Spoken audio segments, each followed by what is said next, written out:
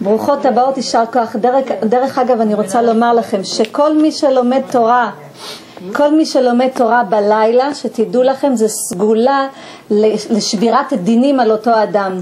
הקדוש ברוך הוא אומר שכל מי שלומד תורה בלילה, שופע עליו אור. שתדעו לכם, זה סגולה שאנחנו לומדים תורה בלילה. שאנחנו יושבות כאן בצוותא, אמרת לכם, זה מטיפתא שלמטה, בעזרת השם מקווה שיגיע משיח, נישאר מטיפתא של מטה, אבל אם לא, גם מטיפתא של מעלה יהיה, זה לא ייתכן שלא, נשים יקרות. עכשיו, כפי שזיווה ביקשה, ואני הכנתי את שירת דבורה לפרשת בשלח, אבל אני לא הספקתי אפילו גם בפרשת יתרו לתת אותה. Okay. אוקיי. ואני אתן אותה, אני אתן נגיעה בפרשת, בשירת דבורה, לפני שאני אגיע לפרשת משפטים שהיא בעצם הפרשה של השבוע. דרך אגב, השבת הזאת זה שבת מברכים, קוראים גם את פרשת שקלים, אנחנו נעבור על זה ונסביר למה, בדיוק לפני שמברכים את ראש חודש אדר א' באדר. כן, נכון, שזה מאוד שקלים. מיוחד, פרשת שקלים. משנכנס אדר מרבין בשמחה. מרבין מלשון רבים. אז אני רוצה להתחיל בפרשת... בשיר, אמן כן יהי רצון, בשירת דבורה. סליחה רגע. קג'י יש לו משפט, בדיוק בעזרת השם בשעה טובה. אני רוצה לומר לכם כך, מספרת הגמרא שמבני בניו של סיסרא ישבו למדו בתורה בירושלים ומי אומר הזוהר הקדוש מבני בניו של סיסרא? בני בניו של סיסרא רבי עקיבא. אתם יכולים לתאר לעצמכם שמייעל אשת, אה, יעל אשת אלקנה חבר הקיני, נולד בעצם רבי עקיבא. אני רוצה להראות לכם איזה רמזים יש בשירת דבורה לרבי עקיבא. איך, איך אנחנו מגיעים משירת דבורה לרבי עקיבא? אנחנו רואים שכתוב לנו בשירת דבורה, לפני שמתחילה השירה, כתוב כך, ואני רוצה לומר לכם, זה בספר שופטים אה, פרק ד', ספר שופטים פרק ד', כתוב כך, ויהם השם את סיסרא ואת כל הרכב ואת כל המחנה לפי, לפי חרב לפני ברק. וירד סיסרא מעל המרכבה וינס ברגליו. וברק רדף אחרי הרכב ואחרי המחנה עד חרשת הגויים ויפול כל המחנה סיסרא לפי חרב. לא נשאר עד אחד. תסתכלו מה כתוב שם. לא נשאר עד אחד. דרך אגב, עד אחד הוא מאוד חשוב כי גם כשהקדוש ברוך הוא הטביע את מצרים את כל צבא מצרים במים, כתוב שם שוב עד אחד. ומה זה עד אחד? מי מת באחד? מי נפח נש... נשמתו באחד? רבי עקיבא. תסתכלו, מה כתוב ברבי עקיבא? בגמרא במסכת ברכות כתוב כך, בדף אה, ס"א עמוד ב' כתוב כך, אני רוצה להקריא לכם כי זה מאוד מצמרר, אני רוצה שתשימו לב. דרך אגב, באותו, בזמנו של רבי עקיבא הרומאים לא הרשו ללמוד תורה ורבי עקיבא דרש תורה ברבים וכתוב עד שתפסו לרבי עקיבא וכבשו בבית האסורים ותפסו לפיפוס בן יהודה וכבשו, אמרו, וכבשו אצלו אמר לו פיפוס מי אביאך לכאן? אמר אשריך רבי עקיבא שנתפסת על, על דברי תורה. אוי לו לפיפוס שנתפס על דברים בטלים. בשעה שהוציאו את רבי עקיבא להריגה זמן קריאת שמע היה עכשיו תקשיבו, והיו סורקים את בשר, בשרו במסרקות, המיתו אותו במסרקות, לקחו מסרקות של ברזל וסרקו את בשרו. במסרקות של ברזל, והיה מקבל עליו עול מלכות שמיים, זה היה זמן קריאת שמע. אמרו לו תלמידיו רבנו עד כאן כאילו עד כמה עכשיו סורקים את בשרך אתה עומד למות. אתם יודעים מה זה להעמיד בן אדם בכאלה ייסורים אמר להם כל ימיי הייתי מצטער על פסוק זה בכל נפשך אתם זוכרים בקריאת שמע? בכל לבבך ובכל נפשך ובכל מאודיך, בכל נפשך, בכל נפשך משמוע אפילו נוטל את נשמתך. אמרתי מתי יבוא לידי ויקיימנו? מתי יגיע לידי הזמן הזה והוא נוטל את נשמתי ואני מקיים בכל נפשך? ועכשיו שבא לידי לא, לא יקיימנו והיה מעריך באחד עד שיצאה נשמתו באחד יצאה בת קול ואמרה אשריך רבי עקיבא שיצאה נשמתך באחד. אמרו מלאכי אשרת לפני הקדוש ברוך הוא זו תורה וזה שכרה? תסתכלו מה זה. עד שיצאה נשמתו באחד בכל נפשך קיים את קריאת שמע. ואומרת תסתכלו איזה מצמרר זה ואנחנו מסתכלים ואנחנו רואים למה הוא היה צריך את התיקון הזה עד אחד בקריאת שמע, שמע ישראל השם אלוקינו השם אחד, באחד יצא נשמתו. למה היה זקוק רבי עקיבא לתיקון הזה?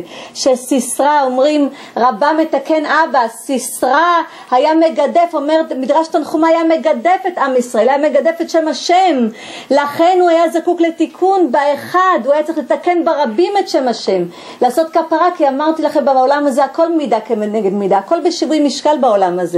לכן היה צריך לתקן באחד, זאת אומרת קידוש השם ברבים, הוא כיפר על מה שעשה אביו, רבי עקיבא יקום בתחיית המתים, רבי עקיבא שגם היה התיקון והגלגול, והגלגול של זמרי בן סלום משבט שמעון, נשיא שבט שמעון, הוא יקום בתחיית המתים.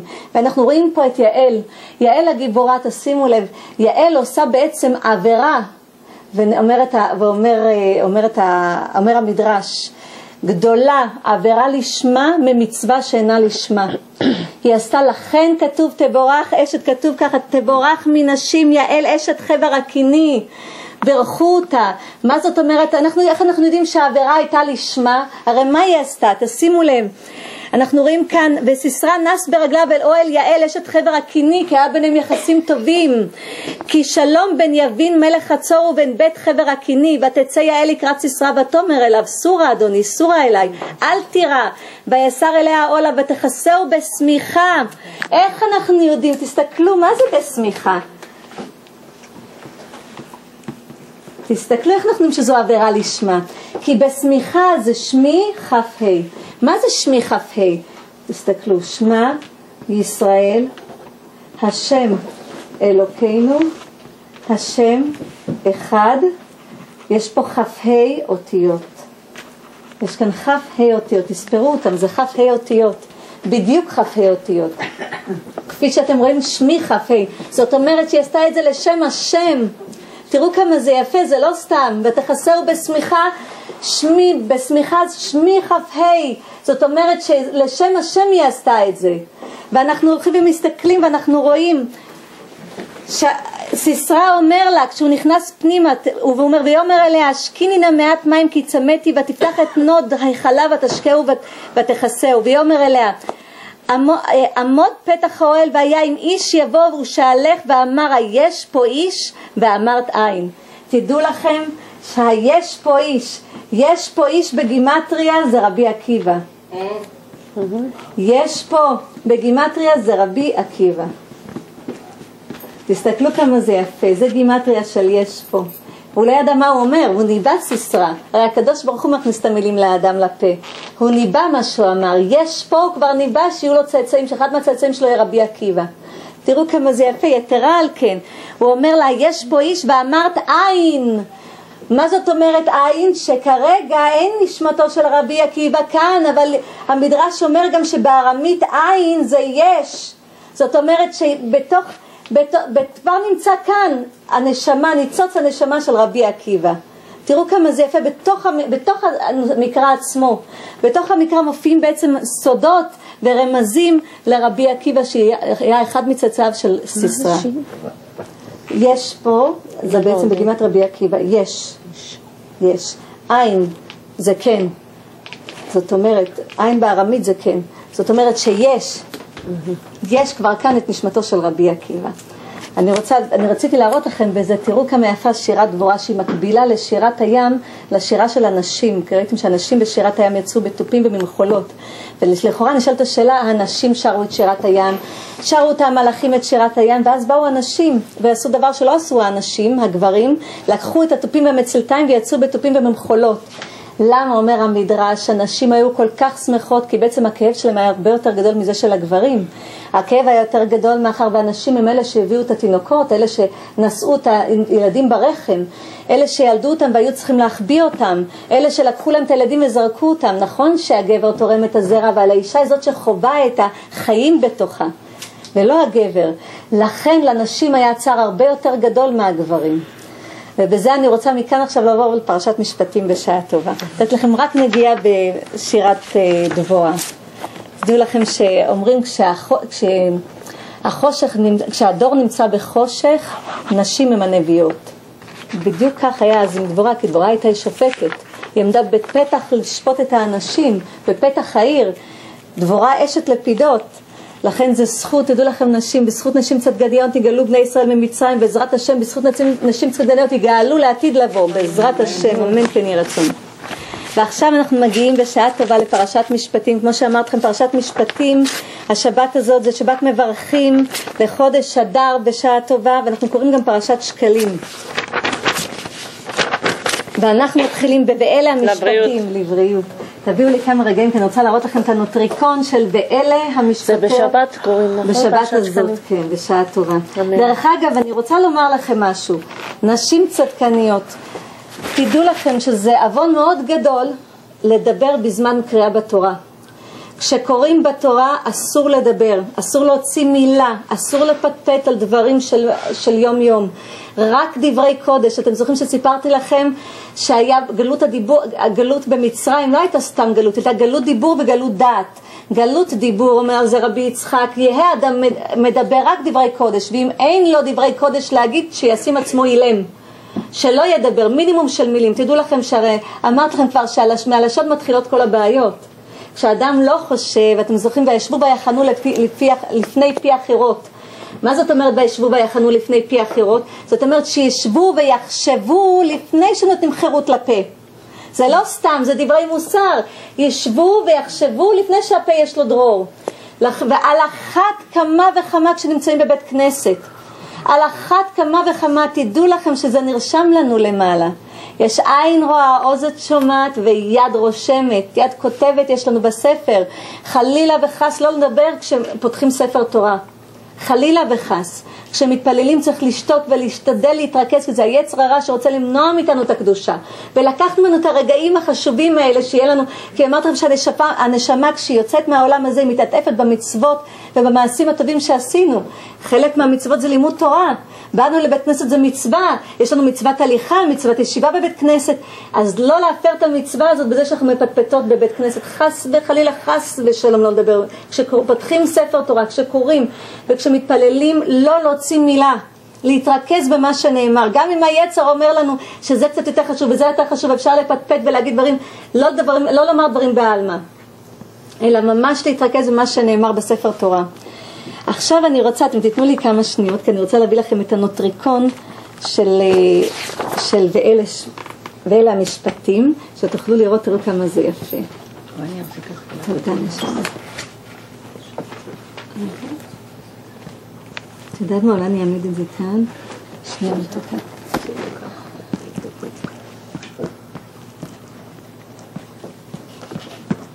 היום אנחנו נלמד איך, כמה דברים על איך ממתיקים את הדינים ואנחנו נעשה את זה עוד רגע, אני רוצה להרשות לכם קודם את הנוטריקון כאן.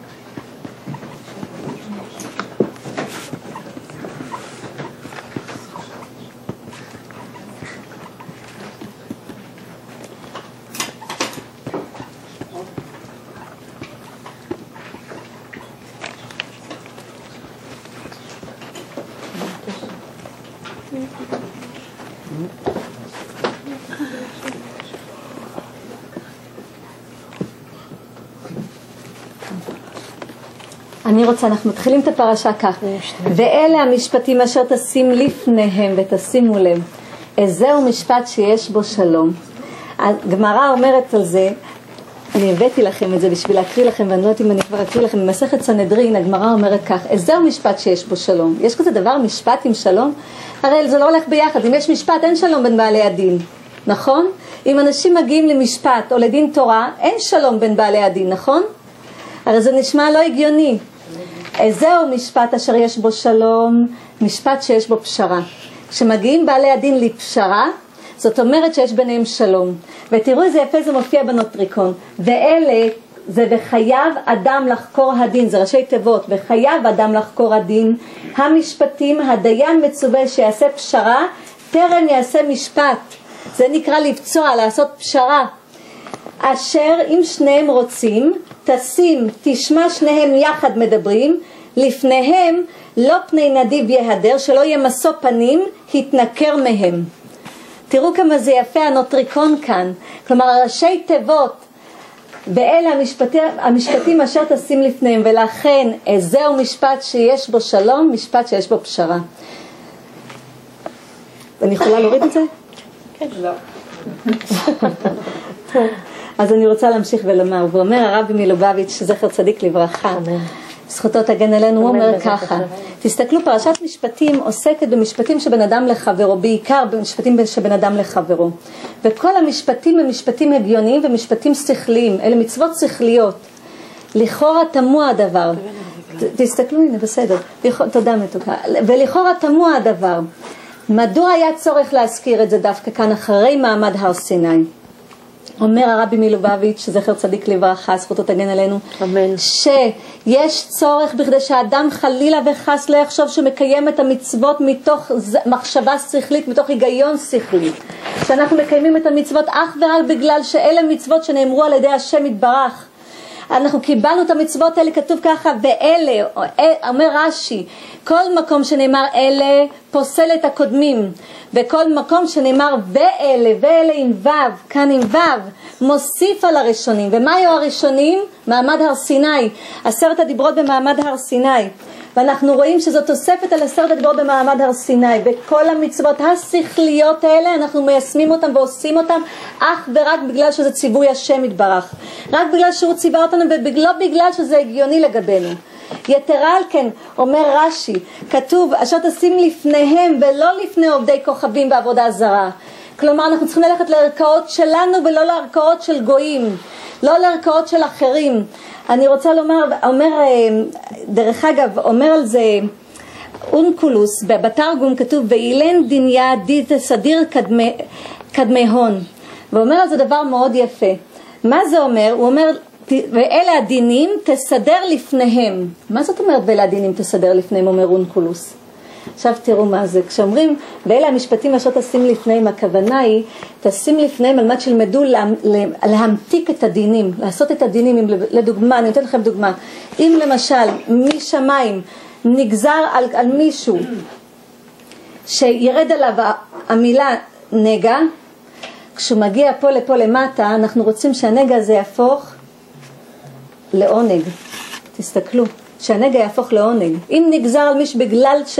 מדין שמיים, בגלל מה שהוא עשה בעולם הזה, נגזר עליו בצורה כזאת, אנחנו רוצים שהנגע הזה יהפוך להיות עונג. איך אנחנו בעצם גורמים, איך אנחנו במעשים שלנו, במה שאנחנו יכולים לעשות, יכולים לגמור, לגרום לריכוך הדינים שמגיעים מלמעלה. עכשיו תסתכלו. אחד מהדברים שאפשר לעשות זה ללכת למקווה. דרך אגב, מקווה מנקה דינים. תדעו לכם, אומרים את זה בתהילים, אני אתן לכם את הציטוט מתהילים. אני אתן לכם את הציטוט מתהילים, כתוב קומה איז... אני יכולה, אני מוחקת כן, את זה כן, נשים. בטח. אני רוצה שתראו את זה ואיך אנחנו מגיעים למקווה. כתוב כך. עכשיו אנחנו נדבר הרבה על תהילים, תסתכלו. כתוב כך. קומה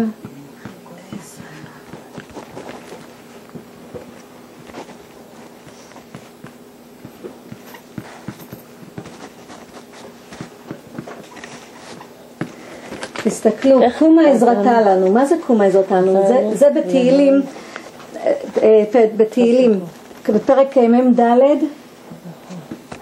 פרק מ"ד, תסתכלו, מה זה קומה? קומה זה אותיות מקווה. עזרתה, עזרת השם. עזרת השם יתברך, תסתכלו. קומה עזרתה לנו פדנו למען חסד. למה אנחנו צריכים פדות אם באו אלינו דינים? תדעו לכם מקווה. עכשיו אני אראה לכם בתהילים כל כך הרבה סודות שדוד המלך נותן. קומה עזרתה לנו, תסת... קומה עזרת השם, קומה, ב- ב- באותן אותיות, אנחנו מסדרים אותם אחרת, זה מקווה. מי שהולכת למקווה מבטלת עליה, מעצמה את הדינים. וואו. גם מעל משפחה, כשאתן נכנסות למקווה ואתן מברכות אנשים אחרים זה ביטול דינים. אתם מבקשים עזרה מהקדוש ברוך הוא ואתם מבטלים את הדינים, תראו כמה זה חשוב המקווה. וואו. כל מי שהולכת למקווה, תדעו לכם נשים יקרות, כמה זה חשוב ללכת למקווה, כל מי שהולכת למקווה. איזה זכות יש לכם, תבקשו על כל עם ישראל. לא רק עלינו, תבקש, לא רק על עצמכם ועל המשפחה שלכם, יש לכם זכות לבקש על כל עם ישראל שאתם הולכות למקווה, נשים יקרות. כן, בטח. אני הולכת. סליחה? אפילו שזה לא מקווה חוץ, שסתם כאילו באים למקווה בשביל רפואה או משהו, גם שם זה גם שם את? יכולה, כן בטח, מקווה, מקווה עוזר לרכך את הדינים, כי תראי, קומה עזרתה לנו, פדנו, לפדות אותנו למען חסדך בחסד, כי מה זה דינים? דינים זה גבורה, אנחנו מבקשים בחסד להעביר את זה לחסד. תראו כמה חשוב המקווה. יתר, אני עכשיו אראה לכם, ואיך אנחנו יודעים שהמקווה חשוב? תראו מה כתוב. אמרת, הקראתי לכם את מה שאומר אונקולוס, תסתכלו. אה, קדמי הון, תסתכלו. מה זה קדמי הון? תסתכלו, אם תסתכלו במילים אחרות, זה מקווה, דין. תסתכלו, מה זה קדמי הון באונקולוס? זה מקווה ודין, תראו כמה זה יפה. אצל התימנים קוראים את התרגום כל, כל שבת אחרי, אחרי. הפסוק, קוראים ישר את התרגום. קדמי הון, גם אונקולוס אומר לכם, מקווה מבטל דין, מרכך את הדין. תראו כמה זה חשוב. יתרה על כן. עכשיו אני רוצה לומר לכם, יתרה על כן, כתוב, אונקולוס אומר, ואלה הדינים תסדר לפניהם, ומה זה תסדר לפניהם? אלה הדינים. מה זה שם הדין? שם הדין זה אלוקים. אז מה זה תסדר לפניהם? תיקח את אותיות האלף-בית שמגיעות לפני האותיות של הדין, אלוקים.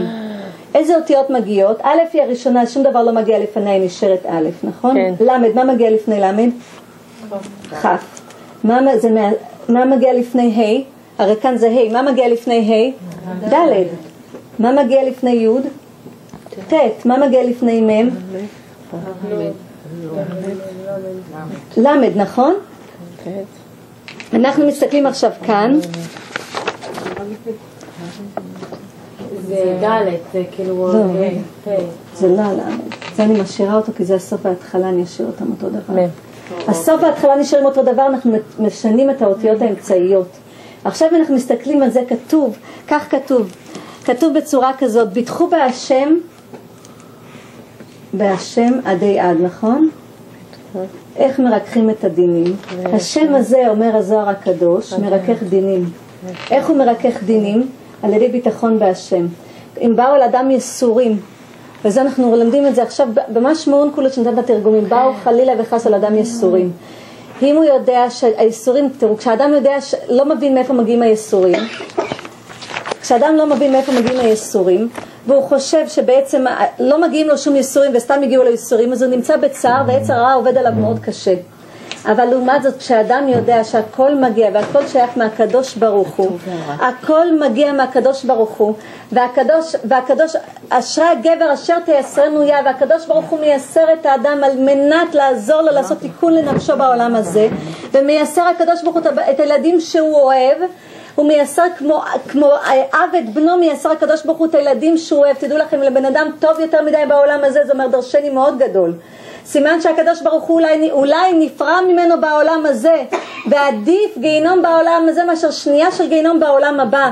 אנחנו כל זה אנחנו לומדים עכשיו מהמשפט הראשון ואלה המשפטים אשר טסים לפניהם. לכן אם אנחנו מסתכלים על זה, אם אנחנו מסתכלים פה על השם, אנחנו רואים שהשם הזה זה שם שמרכך את הדינים. ואיך הוא מרכך, מרכך אותם, אומר הזוהר הקדוש, על ידי ש... זה שאנחנו מגבירים את הביטחון שלנו בקדוש ברוך הוא. אם אנחנו אומרים שמשמיים קיבלנו את זה והקדוש ברוך הוא יודע למה קיבלנו ואנחנו אומרים שאנחנו בעזרת השם נעבור את זה והקדוש ברוך הוא יאיר לנו את הדרך לעבור את הייסורים שאנחנו צריכים לעבור אותם תשימו לב, הקדוש ברוך הוא ירכך לנו את הדינים. ייסורים חביבים. כן, ותדעו לכם שכל מי שמקבל ייסורים באהבה מקרב גאולה. וואו. כל מי שמקבל את הייסורים באהבה מקרב את הגאולה. ותדעו לכם שהגימטריה של עד. היא הגימטריה של א' כ' ד' ט' מ', היא בדיוק הגימטריה של השם הזה, של השם, של השם שמרכך את הייסורים.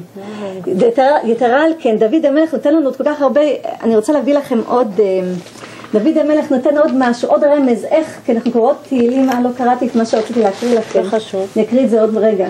כי אני אראה לכם למה חשוב. כתוב כך, בפרק קמ"ה כתוב טוב השם לכל ורחמיו על כל מעשיו. נכון? נכון?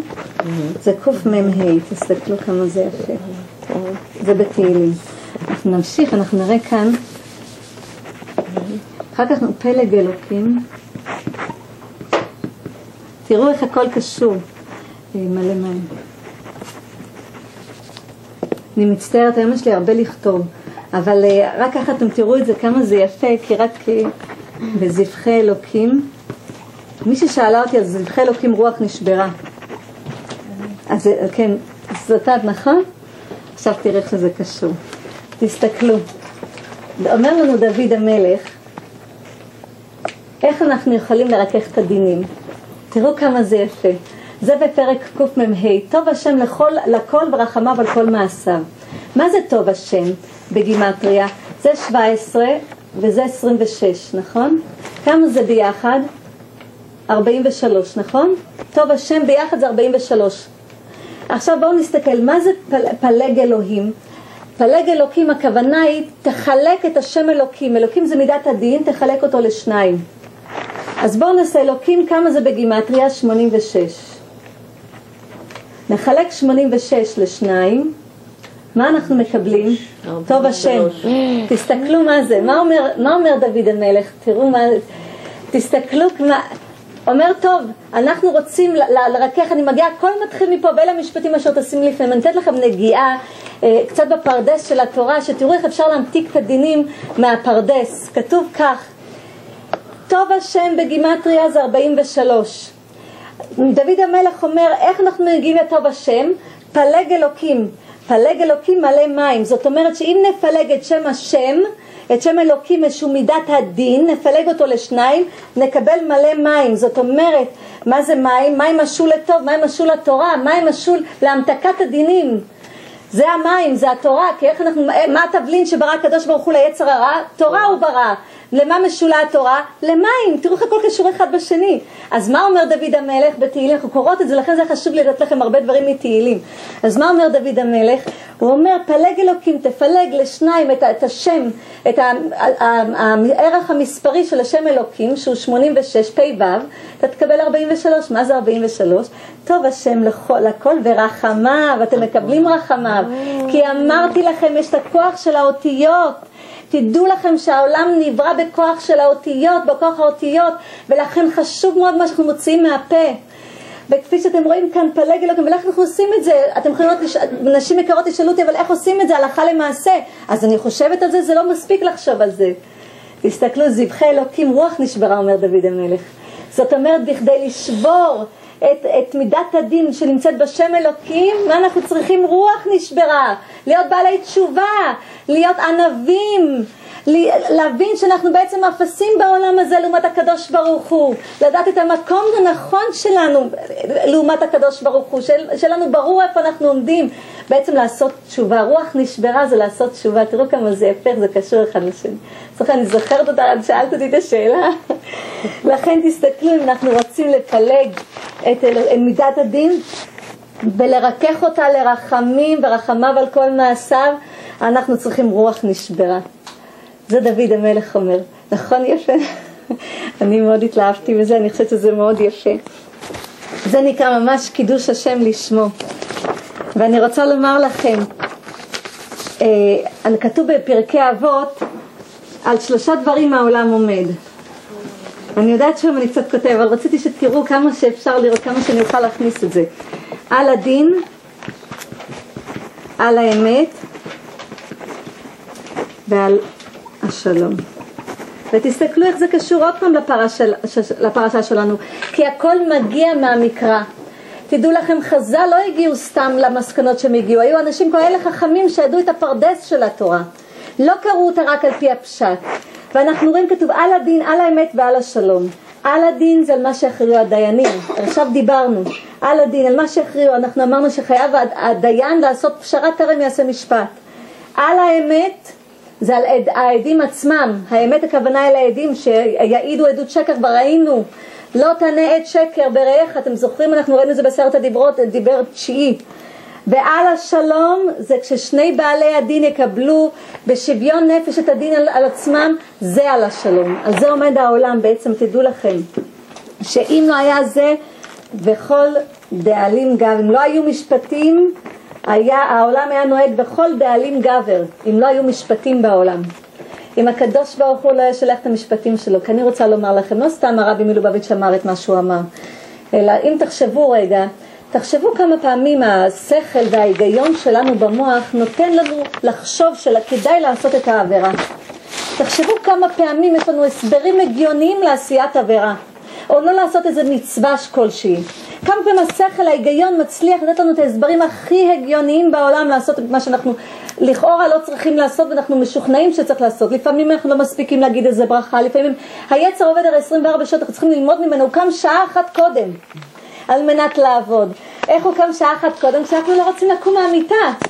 שהוא אומר לנו, טוב, אנחנו, אתן עוד עייפות, אתן צריכות לישון עוד קצת, כדאי לכם קצת לנוח עוד טיפה לפני שתקומי, במקום לקום מיד לעבוד את, לעשות את עבודת הבורא.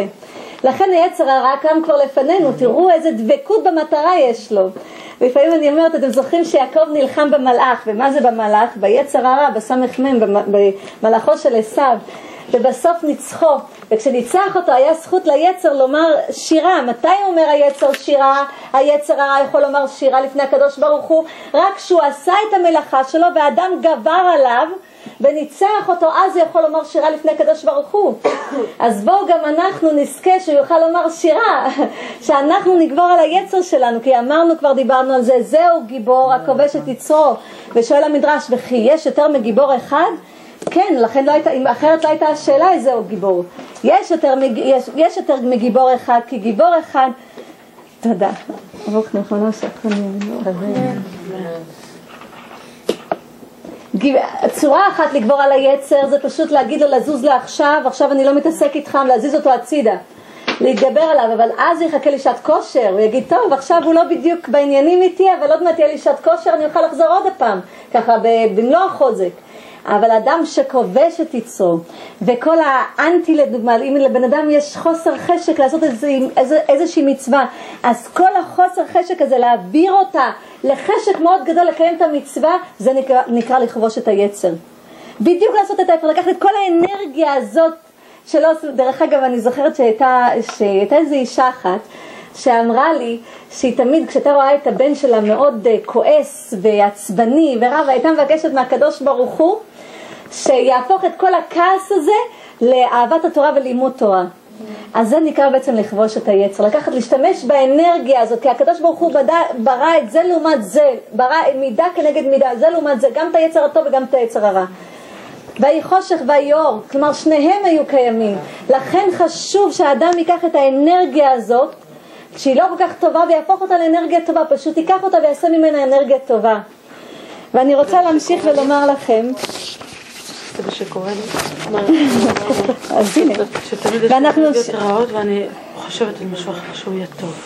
ואני רוצה להמשיך ולומר, תסתכלו, בהמשך כתוב ככה, כי אתם תקראו את זה בעזרת השם בשבת, אז אתם תעברו על זה. אני רוצה, זה כתוב, כי תקנה עבד עברי, שש שנים יעבוד ובשביעית יצא לחופשי חינם. כי תקנה עבד עברי, שואל, שואל המדרש, מדוע נסמכה פרשת אה, עבד ועמה לפרשת, אה, לפרשת, אה, לפרשת קבלת התורה בהר סיני, בפרשת יתרו, מדוע על זה נסמך? אני רוצה לומר לכם, עבד שלא רוצה לצאת לחופשי, כתוב כך, והגישו אדוניו אל האלוקים והגישו אל הדלת או אל המזוזה ורצה את אוזניו ו, ו, את, את, ורצה אדוניו את אוזנו במרצע ועבדו לעולם. תסתכלו, אומר המדרש, עבד זה ששמעה אוזנו לא תגנוב והלך וגנב, תירצה אוזנו. למה אוזנו? כי יש לנו פה חלק רך של האוזן, עלה של האוזן. המטרה של העלה, תסתכלו, זה פשוט לכסות את האוזן. לא לשמוע דברים לא רצויים. אומר המדרש, כנראה אותו אדם שמע דברי ליצנות ולא שמע את מה שצריך לשמוע במעמד הר סיני. למה אותו אדם? הרי לא מדובר באלה שממש עמדו במעמד הר סיני, אבל אנחנו יודעים שכולנו נחשבים כאילו עמדנו בהר סיני, כולנו היינו שם. כל הנשמות שיצאו משישים ריבו ישראל בהר סיני, כולנו קיבלנו את התורה בהר סיני. ביום הזה, כל יום אנחנו מחדשים את זה ביום הזה. היום הזה, כפי שאמרתי לכם בגימטריה, זה 17, זה ביום הזה, ביום הטוב, זה הזה, זה עכשיו. כל יום אנחנו מקבלים את התורה במעמד הר סיני. לכן חשוב שבן אדם, אדם ששמע לא תגנוב וגנב, תירצה אוזנו. יתרה על כן, תראו, תירצה אוזנו במה? במרצע. תסתכלו, מה זה מרצע בגימטריה? למה הקדוש ברוך הוא ממש מחמיר עם זה? למה מרצע? כמה זה בגימטריה? מ' זה 40, ר' זה 200, צדיק זה 90 ועין זה 70. כמה זה ביחד? 400. נכון. מה- כמה שנים היו צריכים עם ישראל להישאר עבדים לפרעה במצרים? 400 שנה. והקדוש ברוך הוא שחס על עם ישראל והוציא אותם אחרי רדו שנים. נכון? הפחית להם. מה הפחית להם? קץ, 190 שנה, קץ. מה זה קץ? מה זה קץ? אתם זוכרים? קץ זה כתונת פסים, קץ זה פסים בגימטריה, כתונת הפסים שכבר רמזה לזה, נכון? תסתכלו, 190 שנה הפחית להם. אז זה האדם שעמד והקדוש ברוך הוא אמר לי עבדים ישראל, כלומר עם ישראל צריך להיות עבדים לקדוש ברוך הוא ובמקום זה הפך להיות עבד לעבד, אוזנו תרצה. תסתכלו, זה הקדוש ברוך הוא מה אמר? שעם ישראל מאחר והוצאו אותם מעבדות ממצרים, לקח את עם ישראל לא לעבדים. נכון? מרצע, למה דווקא במרצע? מרצע זה 400 בגימטריה. ת' שנים הקדוש ברוך הוא אמר שצריכים להיות בברית בין הבית"רים, צריכים להיות עם ישראל משועבדים למצרים במצרים. והקדוש ברוך הוא חם אלינו ועשה רדו שנים. ודיברנו על רדו שנים. וזה בעצם הפחית לנו מאה קץ שנים מת' שנים. אז העד- אז העבד הזה שרצה עדיין להישאר עבד לעבד ולא עבד לקונו במקום עבד לקדוש ברוך הוא יתרצה אוזנו אבל יתרה על כן לא סתם תירצה אוזנו אלא כתוב שתירצה אוזנו כתוב כך והגישו אל הדלת או אל המזוזה מדוע הדלת והמזוזה? שואל המדרש מדוע דווקא הדלת והמזוזה? מה מיוחד בדלת והמזוזה? תסתכלו מה מיוחד בהם אתם זוכרים שהקדוש ברוך הוא בקורבן הפסח אמר למשה לומר לעם ישראל לקחת ולסמן את המשקוף בדם כן. ואת שתי המזוזות בדם. כן. מזוזה ימין הייתה אה, למשה, מזוזה שמאל לאהרון והמשקוף זה הקדוש ברוך הוא. אז אמר הקדוש ברוך הוא למה במשקוף? אלה שהיו עדים כשאני פסחתי על עם ישראל ולקחתי אותם לי לעבדים תראו מה זה אלה שהיו עדים, שזאת הייתה הדלת, והמזוזות שהיו עדים, הם אלה שעל ידם בעצם ירצה האוזן של העבד, כי הוא היה, כולנו היינו במצרים, והוא לא שמע. והוא כן. והדלת והמזוזה היו עדים לכך שפסח הקדוש ברוך הוא על עם ישראל במצרים. לכן הם אלה שצריכים, שעליהם צריך להירצה אוזנו של העבד, שבחר להיות עבד לעבד, ולא לחינם פותח הפסוק, והגישו אדוניו אל האלוקים, אלוקים זה מידת הדין. הקדוש ברוך הוא לא רואה את זה בחיוב. תסתכלו והגישו אדוניו אל האלוקים, אלוקים זה מידת הדין. ואנחנו ממשיכים, זה מאוד יפה, ואנחנו ממשיכים, אני אתן לכם עוד כמה נקודות. כתוב כאן מכה איש במת מות, מות יומת, ושואל המדרש מדוע נשמח מכה איש במת מות יומת. אז שואל המדרש, המדרש מדוע נסמכה אה, פרשת רוצח לעבד, לעבד, לדיני עבד. דיני רוצח לדיני עבד. אז אני רוצה לומר לכם, שתדעו לכם, שכל מי שהוא עבד לעבד, כל מי שהוא עבד לאדם, רוחו אינה חופשייה, הוא לא בן חורים, בגלל שהוא עבד לעבד. כי עבד, אנחנו צריכים להיות עבדים לקדוש ברוך הוא, לקונה, למי שקנה אותנו. מי קנה, אותה, קנה אותנו? הקדוש ברוך הוא. אדם, דרך אגב, אדם שהוא גם עבד ליצר הרע שלו הוא עבד, הוא חושב שהוא בן חורים. אם חלילה אדם לוקח חס וחלילה סמים, שותה אלכוהול, או, או הולך לנשים, או עושה דברים לא רצויים, או כל דבר שהוא בבחינת יצר הרע, שתדעו לכם, נדמה לו שהוא עושה את זה בצורה חופשית כבן חורין, אבל תדעו לכם שהוא עבד ליצר הרע שלו, הוא עושה מה שהיצר הרע שלו מכתיב לו, וקשה לו מאוד להתגבר על היצר הרע, כי הוא כבר נמצא בפנים. תדעו לכם, היצר הרע כשהוא מתחיל, הוא מתחיל קודם כל כמו אורח. אורח מה עושה כשהוא בא אלינו הביתה? הוא נכנס בפעם הראשונה, הוא מאוד עדין, הוא מאוד נחמד, הוא מאוד ביישן, הוא לא מעז לגשת לשום דבר, הוא לא נוגע בכלום, הוא יושב בשולחן רק אם מבקשים ממנו לשבת, אנחנו צריכים להגיש לפניו את הדברים, להגיד לו שלא יתבייש, שירגיש בבית, זה אורח כשהוא מגיע בפעם הראשונה. כשאורח מגיע בפעם השנייה הוא קצת כבר פחות ביישן, בפעם השלישית הוא כבר פחות ביישן ואם אנחנו ממשיכים קצת הלאה הוא כבר ממש מרגיש, עד שהוא מרגיש בעל הבית, ככה זה יצר הרע. הוא נכנס בשקט בהתחלה, בגניבה, בסתר, בודק אותנו אם אנחנו נסכים לקבל אותו. אם הסכמנו קצת אנחנו, הוא פותח עוד שער ועוד שער ועוד שער עד שהוא משתלט על האדם. ואז נדמה לאדם שהוא בן חורין אבל הוא לא בן חורין, הוא עבד ליצר. כי בן חורין זה רק אדם שיכול לבחור בין טוב לרע. אם אדם כבר נתלה ממנו הבחירה הזאת וקשה לו לבחור בין טוב לרע הוא כבר עבד ליצר. אז שבעזרת השם נזכה אנחנו להיות בני חורין. וכתוב וכי יריבון אנשים וכי יריבון אנשים והיכה איש את רעהו באבן או באגרוף ולא ימות ונפל למשכב. תסתכלו, וכי יריבון אנשים, אומר המדרש, אם שני אנשים רבים, יריבון אנשים הכוונה יריבות בפה, בלשון, וכבר אמרתי לכם פעם, מה התפקיד, תסתכלו על הלשון, הפה זה דבר מאוד חשוב, דיברנו על זה בפרשה הקודמת, ששת ימים תעבוד וביום השביעי תשבות, מה זה ששת ימים, במה אנחנו עובדים? יש לנו שישה איברים בפנים, יש לנו שתי עיניים, שני נחיריים ושתי אוזניים, יפה. אנחנו ביחד זה שש, נכון? אז אנחנו רואים שאיתם אנחנו עובדים את הקדוש ברוך הוא. מה זה הפה השביעי?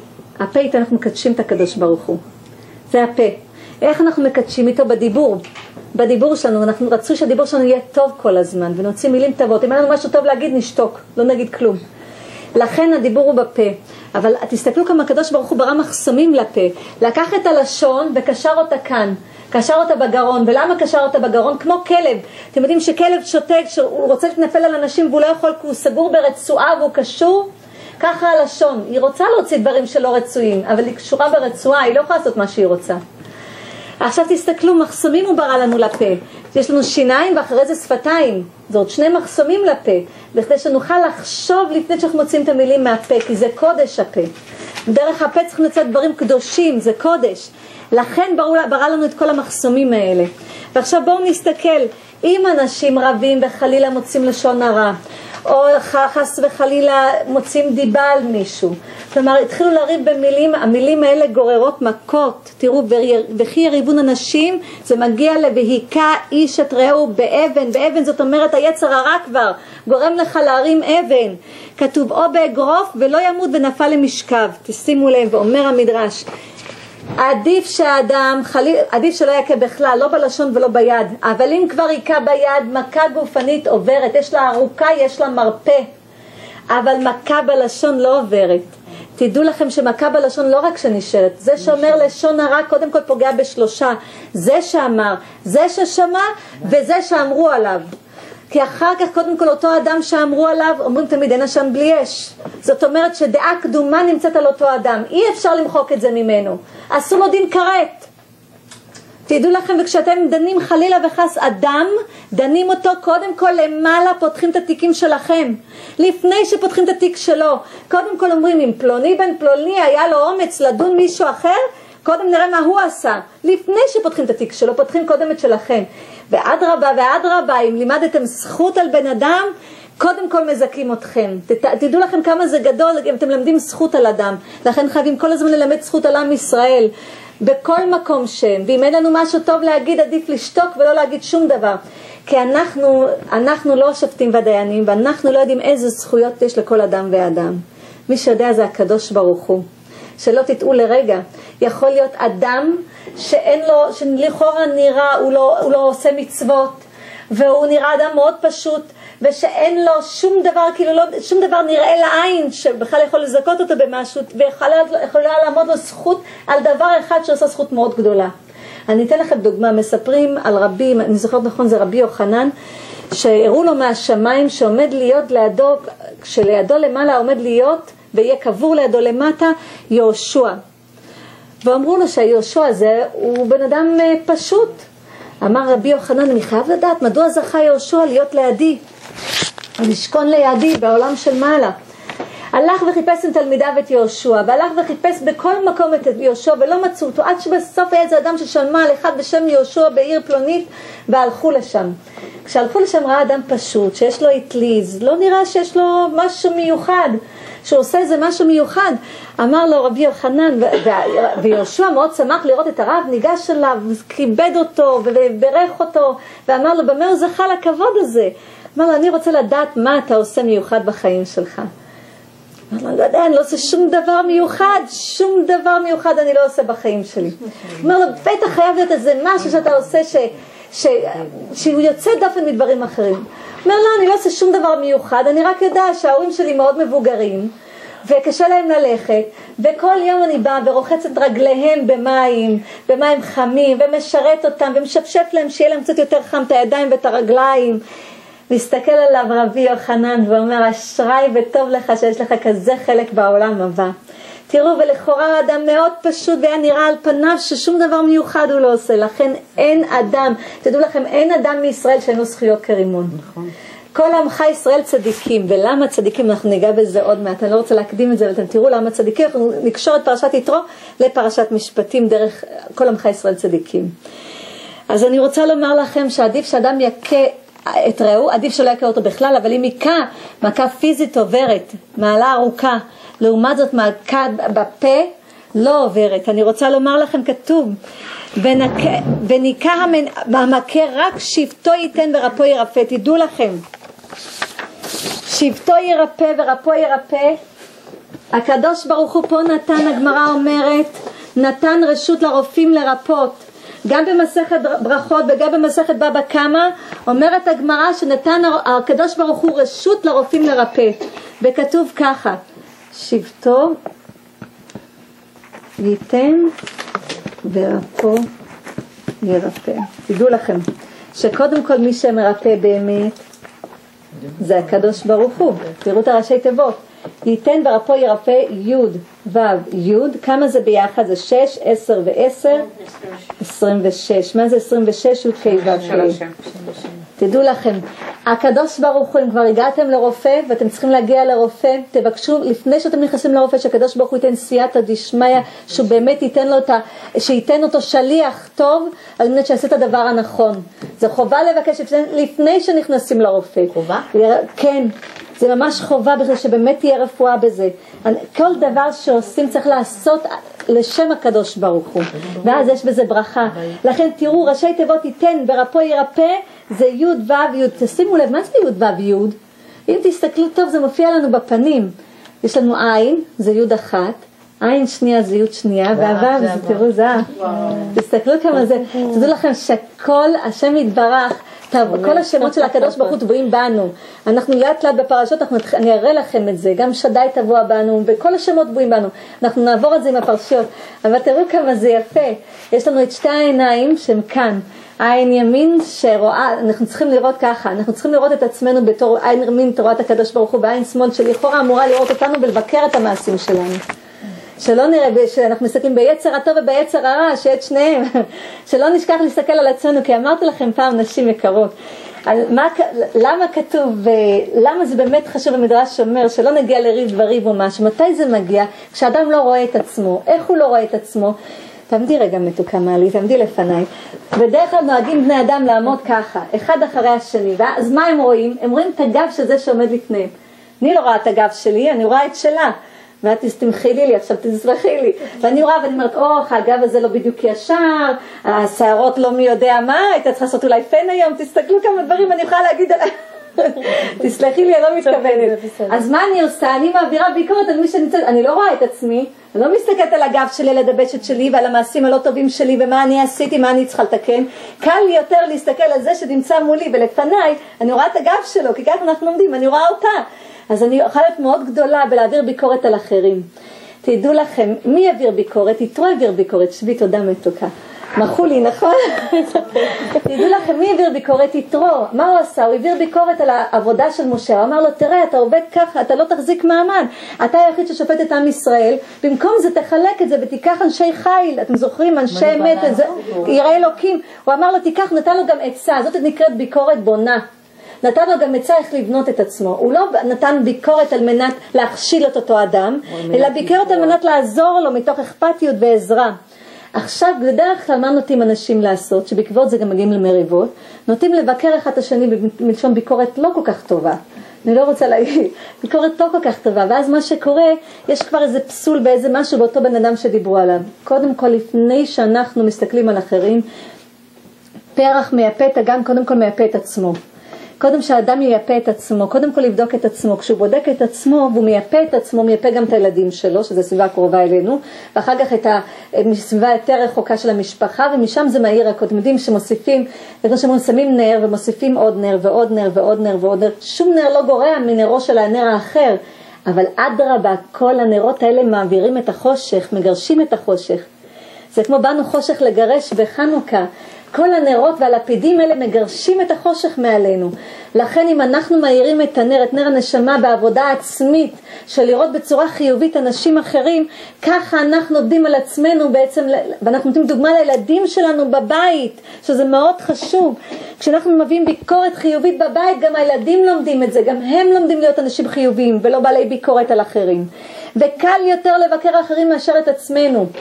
אז אנחנו צריכים להזכיר לעצמנו שקודם כל נסתכל על עצמנו ואחר כך על אחרים. ותסתכלו, ואומר המדרש, אתם יודעים שבשבת אומרים, אנחנו אומרים משברך, אנחנו אומרים שבת היא מלזעוק ורפואה קרובה לבוא. זאת אומרת, אומר המדרש ככה, וזה מגיע בדיוק מכאן, שבטו ייתן. אומר המדרש שאם אדם יקפיד על מצוות בשבת וישמור שבת, שבטו ייתן את השבת, אם אדם ישמור שבת ויקפיד על המצוות והלכות שבת, הקדוש ברוך הוא ייתן לו רפואה ורפו ירפא, הקדוש ברוך הוא ייתן לו רפואה.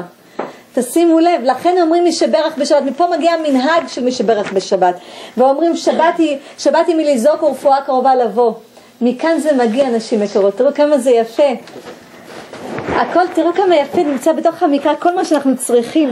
דרך אגב, אנחנו אומרים כל בשחרית, אנחנו אומרים, לפני שמע ישראל, אנחנו אומרים ככה, בורא רפואות, אומרים כך, תסתכלו, שואלים איך אנחנו יודעים מה לעשות כשאדם חולה. אז בואו נלך לשחרית, ובשחרית כתוב כך, לפני שמע אנחנו אומרים בורא רפואות, נורא תהילות, ואדון הנפלאות. אז תסתכלו, קודם כל יש לגשת לרופא. תסתכלו, בורא רפואות. אתם חולים? הקדוש ברוך הוא נתן רשות ורפו ירפא, נתן רשות ללכת לרופא, ללכת לרופא. זה רופא. עכשיו בואו נמשיך. מה זה נורא תהילות? לקרוא ספר תהילים. תדעו לכם, לקרוא תהילים, בן אדם יקרא תהילים על עצמו. לקרוא תהילים, וזה סגולה לקרוא את כל ספר התהילים. אני רשמתי, אני רוצה להראות לכם, דוד המלך נותן את זה, רק שנייה לקרוא את, אה, כתוב כך, מי ימלל? מי ימלל גבורות השם? כל תהילתו. תדעו לכם, כשאדם לא מרגיש טוב זה מידת הדין עליו. כשאדם חולה שרויה עליו מידת הדין. על מנת לרכך את מידת הדין, נורא תהילות תקרא תהילים, ואנחנו יודעים את זה מתהילים. מי ימלל גבורות זה דין, השם ישמיע כל תהילות, יקרא את כל התהילים. תסתכלו, דוד המלך אומר את זה כאן, בכדי למתק את הדינים, אם בן אדם חולה זאת אומרת שיש עליו דין. אם יש עליו דין בכדי למתק את הדינים, אומר דוד המלך, ישמיע כל תהילות. לכן חשוב לקרוא את התהילים, אדם שיקרא לעצמו ואחרים שיקראו בשבילו, אבל קודם כל שאדם יקרא לעצמו, קודם כל שיבקש על עצמו. ואחר כך כתוב אדון הנפלאות, לא לשכוח שמי שבאמת מרפא זה הקדוש ברוך הוא, י' ו' י', ראיתם? ייתן ורפו ירפא, ראשי תיבות. זאת אומרת, אנחנו רואים את זה תמיד כשאנחנו קוראים שמע ישראל בשחרית. אז לפני כן תסתכלו טוב, אתם תראו, כתוב בורא רפואות, נורא תהילות אדון הנפלאות. ובורא רפואות עכשיו, בורא, לא ברא רפואות, אלא בורא עכשיו. אבל אמרו שאסור לקרוא תהילים בלילה. מותר לקרוא היום תהילים, את קוראה על חולים מותר, והיום בגלל שהדור נמצא בכזה חושך, יש יותר מרבנים לקרוא תהילים. בגלל זה אני לא קוראת תהילים, כי בבוקר אני אני הולכת לעבודה, אני לא מספיקה, ואני מגיעה כאילו רק מאוחר. היום בגלל שיש כזה חושך בעולם הזה, מה זאת אומרת חושך רוחני, יש הרבה רבנים שמתירים לקרוא תהילים, גם אחרי רדת החשיכה. על כולם. אומר אם את הולכת לקרוא... אני קוראה גם על הבעל, על הילד, שרות. אני רוצה, אבל אמרו שאסור זה לקרוא בלילה, אני הייתי נכון? קוראת בלילה ושם כל הזמן. לפי הזה של הגילאים אני קוראה את זה. נכון? ככה עושים. אני לא יודעת, אני עושה מאוד אוהבת שאני... ואני רוצה להגיע, תסתכלו, נשים יקרות, אני רוצה להמשיך ולהגיע, כתוב כך. עין, ת- כתוב ככה, ואם אסון יהיה ונתת נפש תחת נפש, עין תחת עין, שן תחת שן, תסתכלו, בואו נרשום את זה כאן. פשוט זה הרבה משפטים ואני משתדלת לתת לכם כמה שאפשר. כתוב כך, עין תחת עין, שן תחת שן, אה, יד תחת יד, ורגל תחת רגל. אני באה לשיעורים, אני... תסתכלו, אני רוצה קודם כל להראות לכם מי עשיר, מי אדם עשיר. אדם עשיר מי שיש לו עין, ברוך השם, שן, יד, שיש לו ארבעה איברים ורגל. תסתכלו, תסתכלו על הראשי תיבות, תסתכלו על הראשי תיבות. מה זה הראשי תיבות של עין, שן, יד ורגל? או הנה. הנה הראשי תיבות, זה- תסתכלו עשיר. השיר. כן, נכון. תראו, מי עשיר? עשיר הוא זה שיש לו ארבעה איברים. עין, שן, יד ורגל. תסתכלו טוב, זה. אני בהלם. אני רוצה לומר לכם, חלילה וחס לא להשתמש בזה לא טוב, כי זה יכול להיות גם ירשיע. נכון. נכון? לא להשתמש בזה לא, לא, לדברים לא טובים, אלא לקדש את מה שהעיניים רואות. מה שהפה מוציא, שהשיניים נמצאות בו, להוציא דברים קדושים, דברים טובים. מה שהיד עושה שתהיה למצווה, מה שהרגל לוקחת אתכם למקום שיהיה למצווה, לא לדבר חס וחלילה עבירה. אז מי עשיר? מי שיש לו דלת איברים. עכשיו אומר הגאון מווילנה, זכר צדיק לברכה, זכותו תגן עלינו, מה זה עין תחת עין? למה לא כתוב עין בעין, או עין בנפש תחת עין? למה כתוב עין תחת עין? תסתכלו, עין תחת עין אומר, אני רוצה לשאול אתכם, וכי תק- המקרא אומר, בספר ויקרא, ספר ויקרא פסוק, אה, פרק כ"ד, כתוב כך, משפט אחד יהיה לכם. זאת אומרת שכולם יהיו שווים. אם חלילה לקח מישהו בטעות זרק אבן ולקח עין ופגע בעין של מישהו, הייתכן שניקח את העין שלו, של אותו אדם שזרק את האבן? כי אם לדוגמה העין של אותו אדם שהוא פגע בו הייתה גדולה ושלא קטנה, אז אנחנו לא נקראים, זה לא נקרא שווה.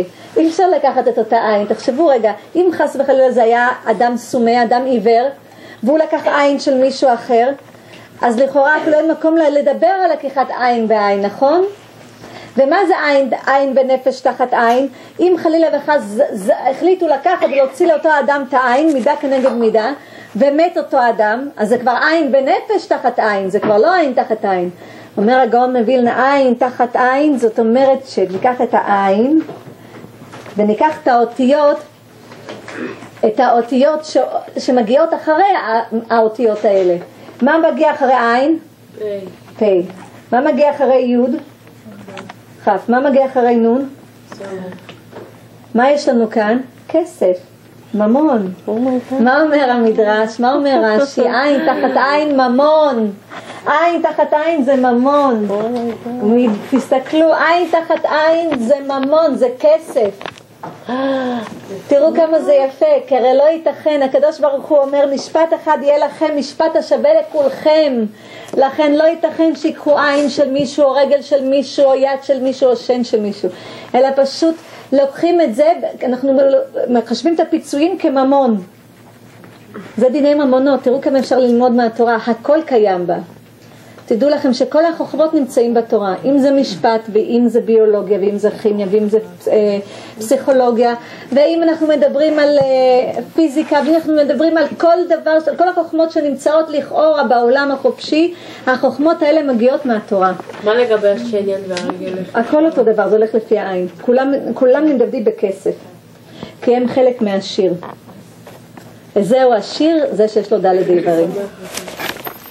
ראיתם? תראו כמה זה. לכן מכאן מגיע הכסף, תראו זה דיני ממונות. אני רוצה לומר לכם, אני רוצה להמשיך, כתוב ככה,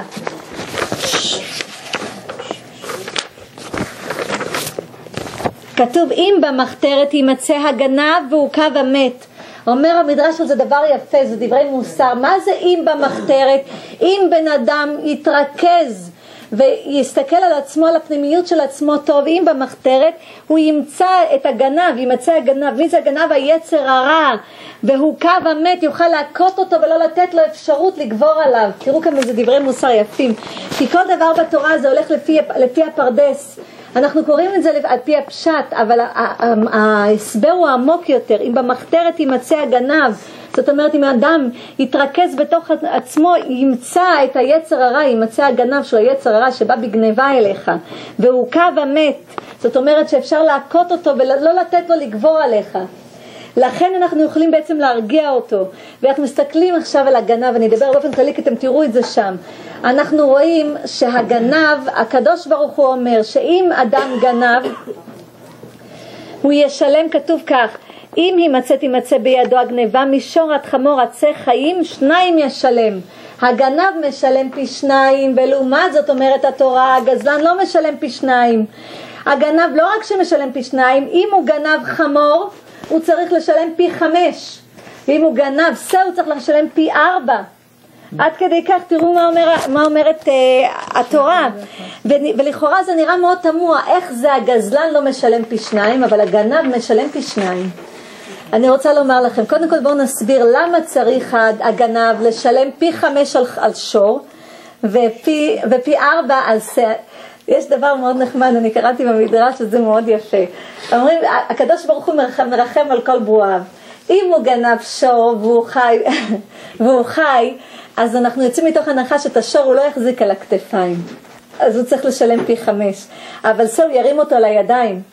את הוא לא ייתן לו ללכת, הוא יגנוב אותו, ייקח אותו וירוץ איתו וירים אותו על הידיים. אז אומר המדרש, הקדוש ברוך הוא חס גם על ברואיו, אפילו שעשו את העבירה, תראו, חס עליהם.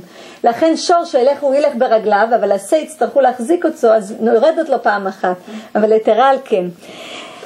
השור משלמים פי חמש, מאחר ולשור יש חמש שמות, חמישה שמות סליחה, הוא נקרא שור, עגל, א', בקר ופר, חמישה, אני לא ידעתי בעצמי שא' זה גם נקרא אה, שור, אבל יש לו חמש, חמש, חמישה שמות.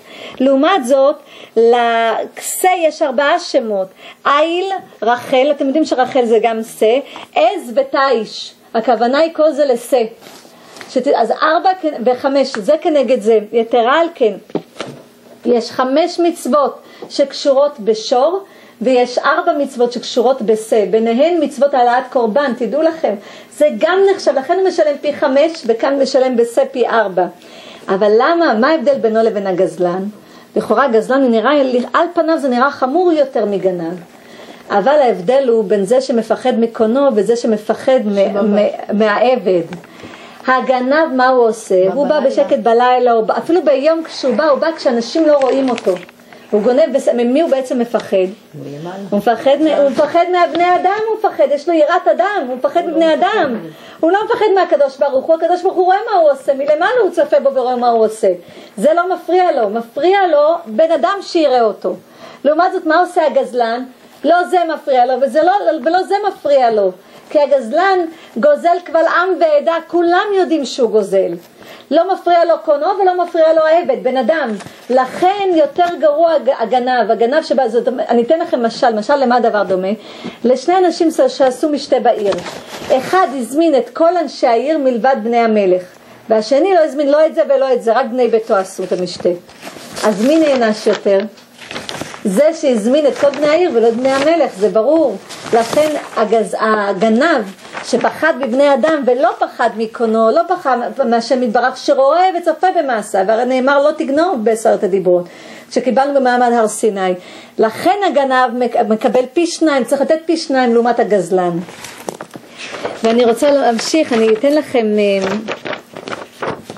אני אעבור מהר, כתוב כאן כל אלמנה ויתום לא תענון, אם ענה תענה אותו כי ימצאו כי צעק אלי שמוע אשמע צעקתו בחרה פי והרגתי אתכם בחרב והיו נשיכם אלמנות ובניכם יתומים, כתוב כל אלמנה ויתום לא תענון, למה לא תענון? למה ברבים לא תענון?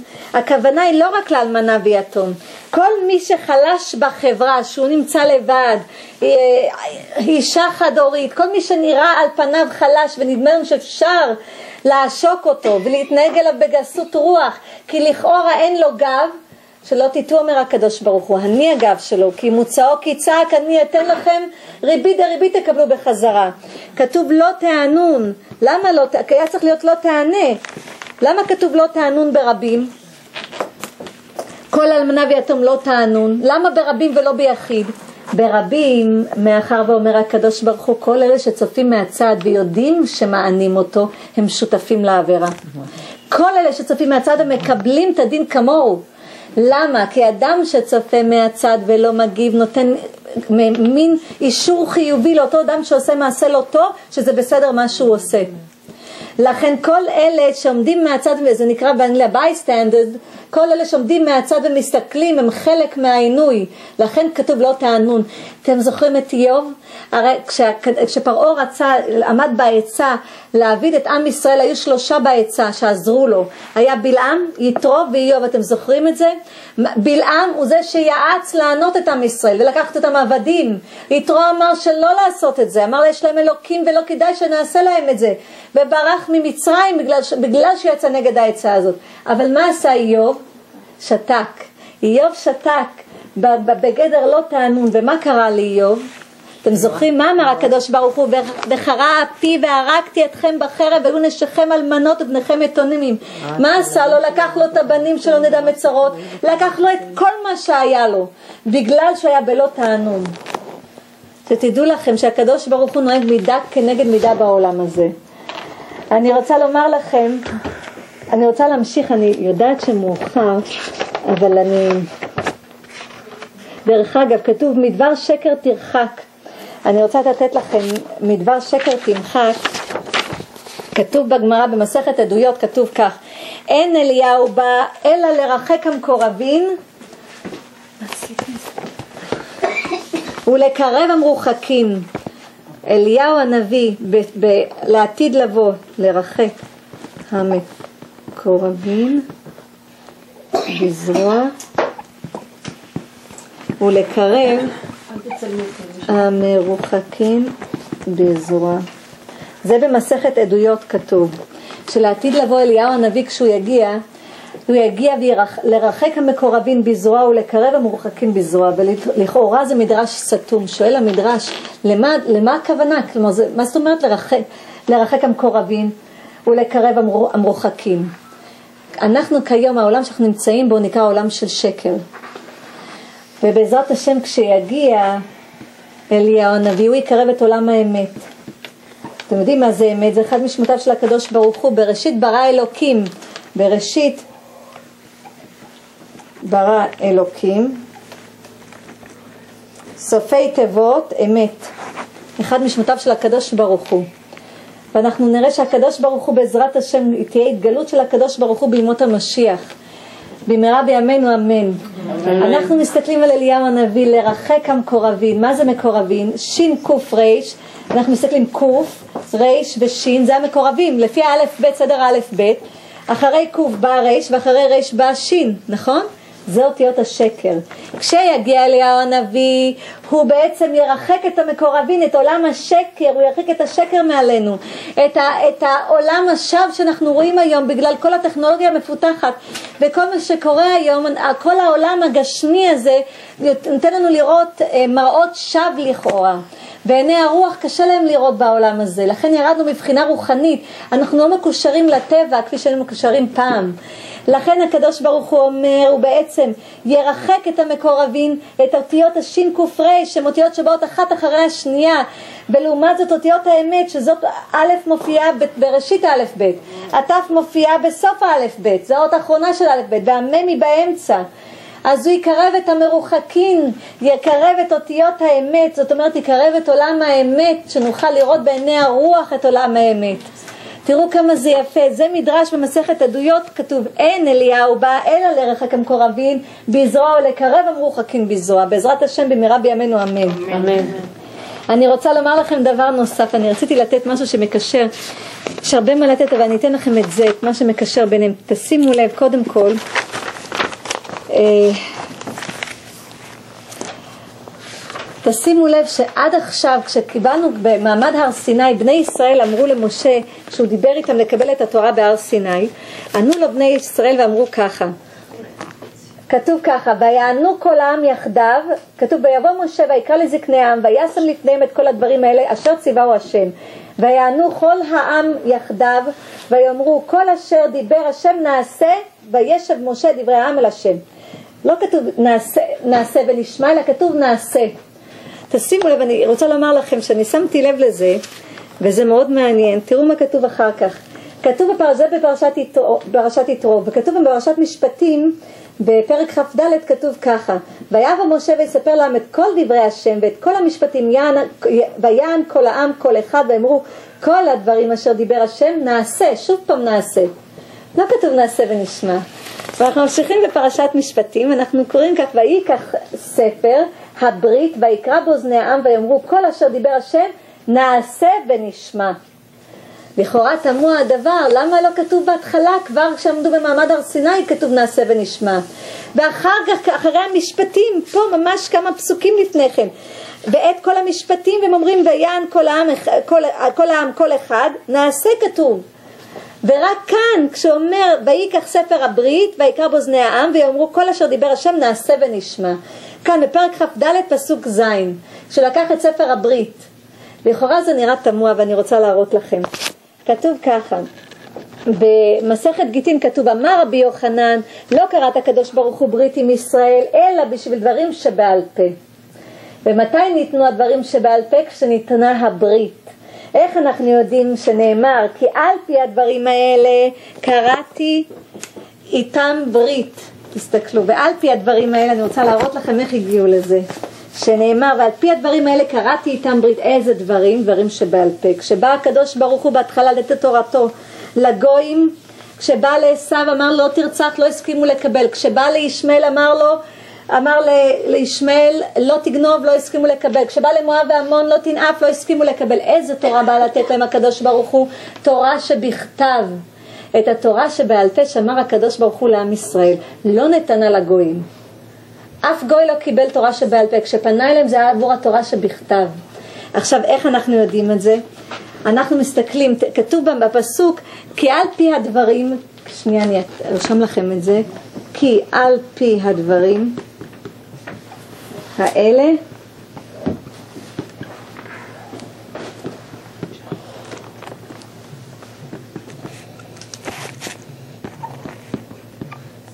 לא איתם אלא איתך, סליחה. ברית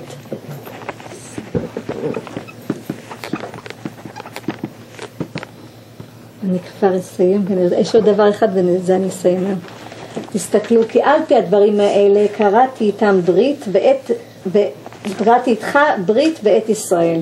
איזה דברים? אלה הדברים של תורה שבעל פה. מה זה ברית בגימטריה? ברית בגימטריה, אני כבר עשיתי לכם את החישוב, זה 612. מה זה אלה בגימטריה? זה ל"ו. מה זה ל"ו? תסתכלו, מה זה ל"ו? 36.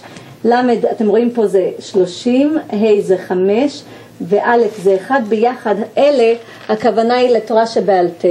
עכשיו מה זה התורה שבעל פה? תסתכלו. יש לנו ל"ו 36 מסכתות בתורה שבעל פה.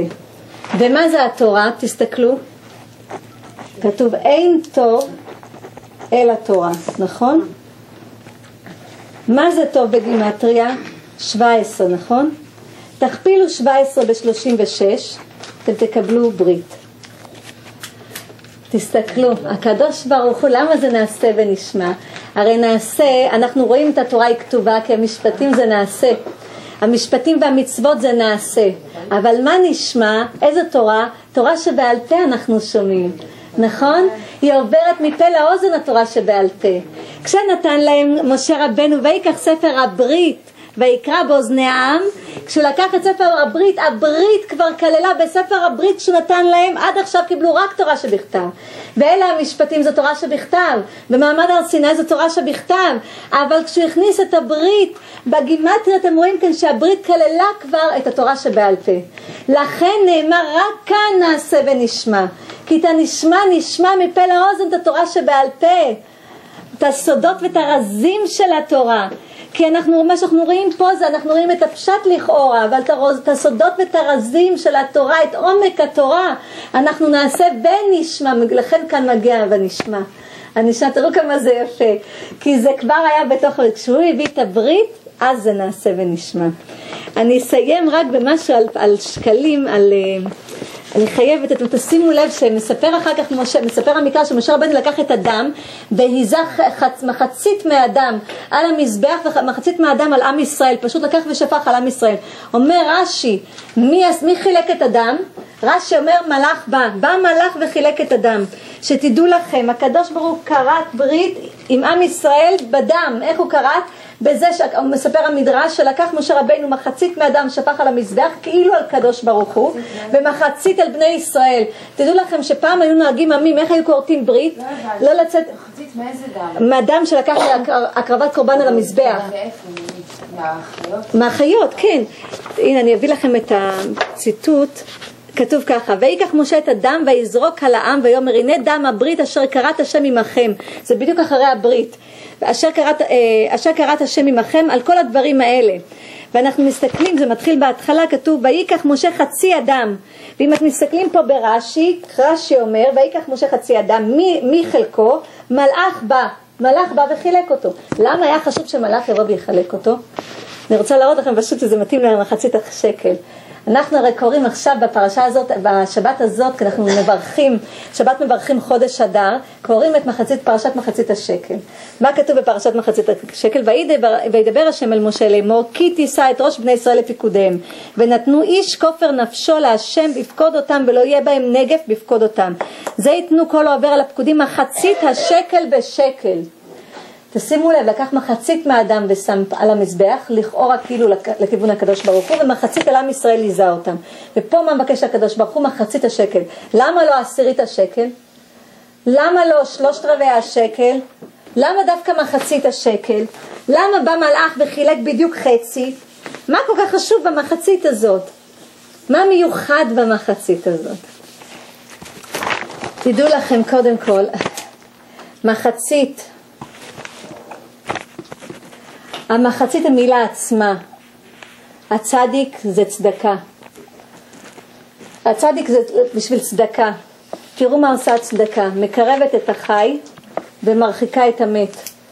תסתכלו, והיא מרחיקה את המת מכאן. אתם רואים את המת? ואתם רואים את החי?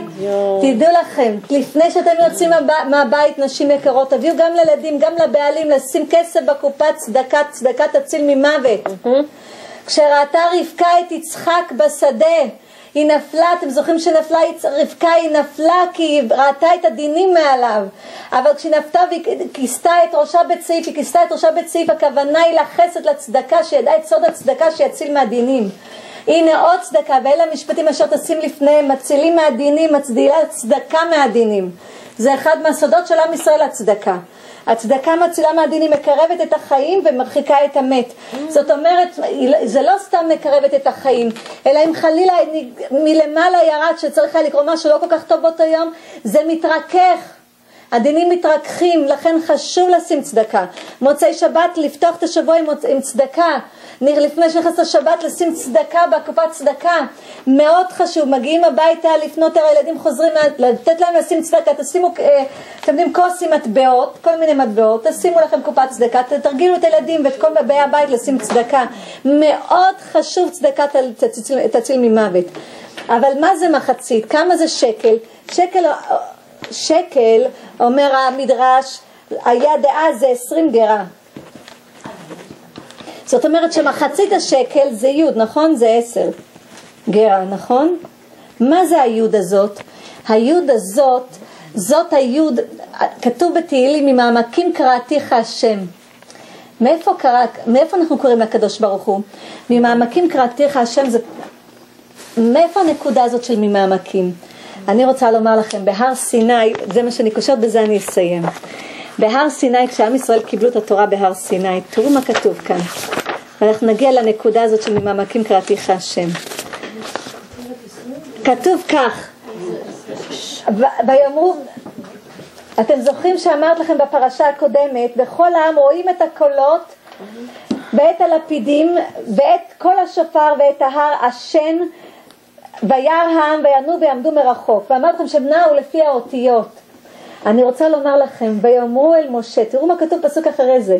דבר אתה עמנו ונשמעה ואל ידבר עמנו אלוקים פן נמות. ומה עונה להם משה? תראו זה לכאורה מה זה תמוה? ויאמר משה לעם אל תיראו כי לבעבור נשות אתכם בא אלוקים בעבור תהיה יראתו על פניכם ובלתי תחטאו מה זה תמוה? הם נמצאים בכזה מעמד הרי הקדוש ברוך הוא לא, לא יהרוג אותם, לא ימית אותם והם, לא, והם רוצים לשמוע את הדיברות מה, מהפה של משה ולא מהפה של הקדוש ברוך הוא. לכאורה מה זה תמוה הדבר ולא רק זה אלא תראו מה משה עונה להם. משה אומר להם ויאמר משה להם אל תיראו כי לבעבור נשות אתכם בא אלוקים ובעבור תהיה יראתו על פניכם ובלתי תחטאו. איזה מין תשובה זאת. תשימו לב אני רוצה לומר לכם תראו כמה זה יפה. הקדוש ברוך הוא, ואנחנו חוזרים במחצית השקט, זה הכל קשור אחד לשני. הקדוש ברוך הוא את שתי הדיברות הראשונות, אנוכי השם אלוקיך, כתוב בפירוש, אנוכי השם אלוקיך אשר הוצאתיך מארץ מצרים מבית עבדים, דיברה ראשונה, דיברה שנייה, לא יהיה לך אלוקים אחרים על פניי, שתי הדיברות הראשונות הקדוש ברוך הוא אמר אותם. איך אנחנו יודעים שהוא אמר את שתי הדיברות הראשונות? רק את שתי הדיברות הראשונות? כי תסתכלו, מה כתוב? תורה ציווה לנו משה מורשה קהילת יעקב. תסתכלו, מה זה תורה ציווה לנו משה? משה מורשה קהילת יעקב. זאת אומרת שבעצם משה ציווה לנו תורה, נכון? תג... תאמרו לי בבקשה, מה זה תורה בגימטריה? תסתכלו, זה תריה, נכון? כמה מצוות יש לנו? תרי"ג מצוות, נכון? תריה זה 611, תרי"ג זה 613. משה ציווה לנו 611 מצוות. 611 כי הקדוש ברוך הוא, הוא זה זה שאמר את שתי המצוות הראשונות. שתי המצוות הראשונות אנוכי השם אלוקיך ולא יהיה לך אלוקים, אלוקים אחרים על פניי. הקדוש ברוך הוא נתן את שתי המצוות הראשונות. משה רבנו נתן את התורה, תורה ציווה לנו נתן את 611 המצוות האחרות. איך זה קשור תשאלו אותי, מה זה אומר? אמרת לכם, השקל שווה 20 גרה ומחצית השקל זה י' גרה, נכון? היוד של הקדוש ברוך הוא, איפה היוד הקטנה הזאת נמצאת? היא נמצאת ממעמקים קראתיך השם. מאיפה זה המעמקים האלה? איפה בנפש ממעמקים האלה? מאיפה היא נמצאת המעמקים? המעמקים האלה זה המקום שאף, למה אומרים על כל עמך צדיקים, כל ישראל הצדיקים? למה אצל כל אחד מאיתנו יש את המעמקים האלה, בתוך המעמקים נמצאת היוד הקטנה הזאת, זאת היוד, ש... זה הנקודה הפנימית הזאת בתוך הנשמה, בתוך הנפש, שאי אפשר לקלקל אותה. יצר הרע לא יכול לגעת בה, למה? הקדוש ברוך הוא כשנתן את שתי הדיברות, כשהם שמעו את הקול של הקדוש ברוך הוא, שתדעו לכם, זה כבר מהסוד של התורה, כשנשמע הקול, הזוהר הקדוש אומר ששמעו את הקול של הקדוש ברוך הוא בכבודו ובעצמו, הוא הטביע את חותמו בהם. כמו להטביע בתוך, בתוך חיה להטביע ואי אפשר להוריד את זה, ככה הטביע את חותמו בהם, אנוכי השם אלוקיך ולא יהיה לך אלוקים אחרים על פניי, טבוע בתוך כל יהודי ויהודי. לכן תראו, כשיש גזרות של שמד על עם ישראל, גם הפושעים של עם ישראל מקריבים בחירוף נפש את, נפש, את נפשם על קידוש השם. מאיפה מגיע להם קידוש השם הזה שכל הזמן עושים את כל העבירות שבעולם לפני כן, מאיפה מגיע קידוש השם? משתי הדיברות שהטביע הקדוש ברוך הוא בתוך עם ישראל בעשרת הדיברות שניתנו על הר סיני. שתי הדיברות האלה. מה אמרו עם ישראל?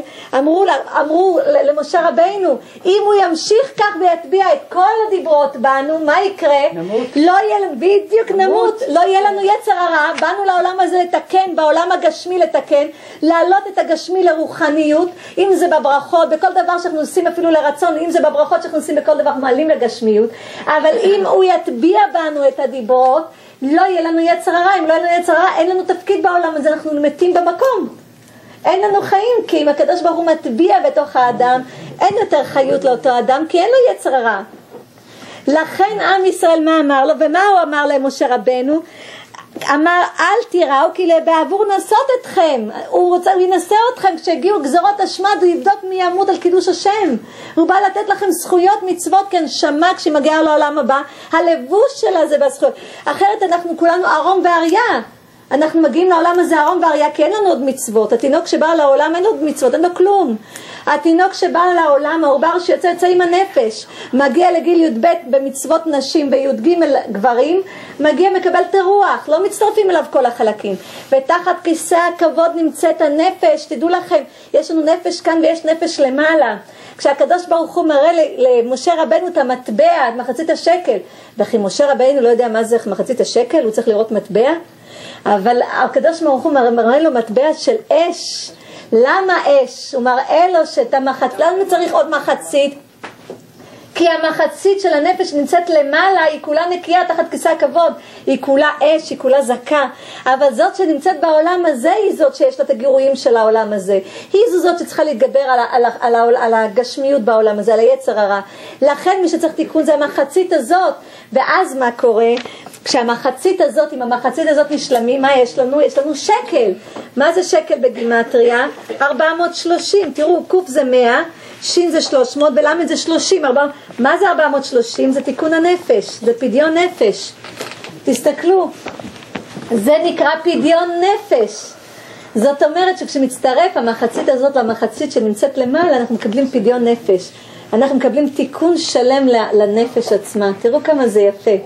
זה פרשת השקלים שאנחנו קוראים, אני רק נתן לכם נגיעה, כשאנחנו נגיע לפרשת כי תישא אנחנו נדבר יותר על מחצית השקל, זה רק נגיעה מלמעלה על מחצית השקל. אני רוצה לומר לכם תודה רבה נשים יקרות, תזכו למצוות, תדעו לכם שבעזרת השם, לעולם ייפרד אדם מחברו, בדבר הלכה, יחיד ורבים הלכה כרבים, בעזרת השם שתלכו לשלום. אני רוצה לאחל לכם גאולה פרטית וגאולה כללית עלינו ועל כל בית ישראל, ושיגיע בעזרת השם משיח צדקנו במהרה בימינו, אמן.